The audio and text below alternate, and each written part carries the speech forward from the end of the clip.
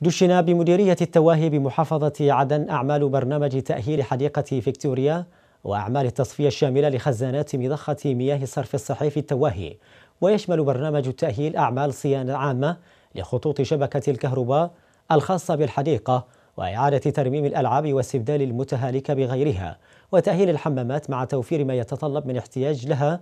وفي الترشين استمع مدير مديرية التواهي كتبي عمر كتبي إلى شرح مفصل حول الأعمال التي سيشملها البرنامج مؤكدا استعداد السلطة المحلية بالمديرية على تقديم كافة التسهيلات لإنجاح المشروع الذي سيسهم في عودة الصورة الجمالية والحضارية للمديرية.